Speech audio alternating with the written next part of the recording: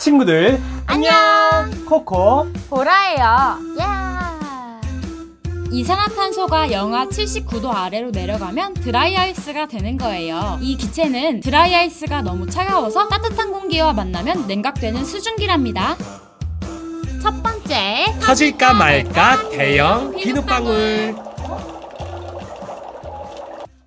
일단 물과 드라이아이스를 넣었어요. 비눗물을 묻은 행주로 비누막을 씌워주면 비누막이 날 막고 있다. 이야. 어 잠깐만 잠깐만. 오 안돼 안돼 안돼. 어 터진다 터진다. 아! 으아!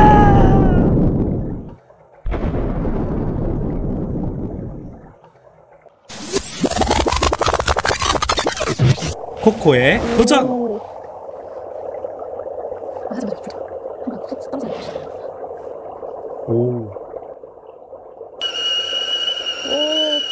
오. 아직 안 터졌어.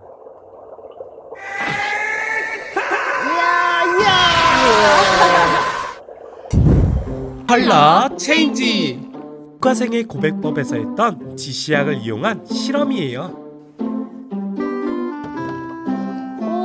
이산화탄소가 들어가면서 산성이 돼서 지시약 색깔이 바뀌었어요. 오, 초록색으로 변했어요. 뽀글뽀글 드라이 아이스 분수. 그만. 드라이 아이스를 넣어주세요. 오. 다음에 물감을 타줄게요. 얍. 들어가라. 오. 바로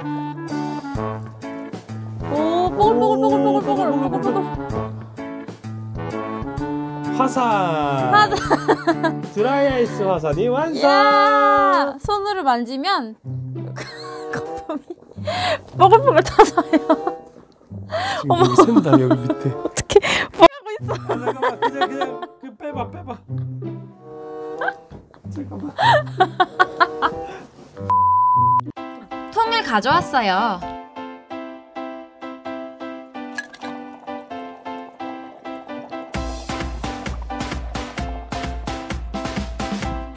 수증기가 비눗물에 갇히면서 분수 완성.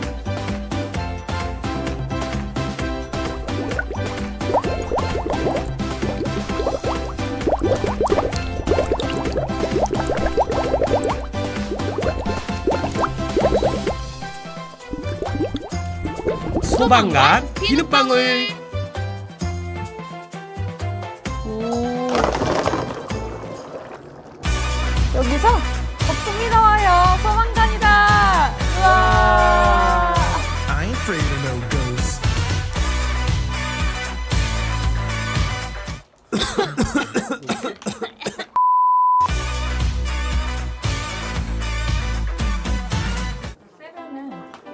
호수 입구에 비눗물을 묻혀서 소방관 비눗방울을 만들어 봤어요. 동글동글 너무 예쁘죠?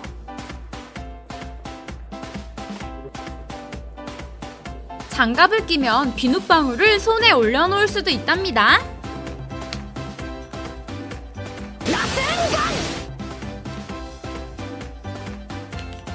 드라이 아이스 실험 끝. 친구들 안녕.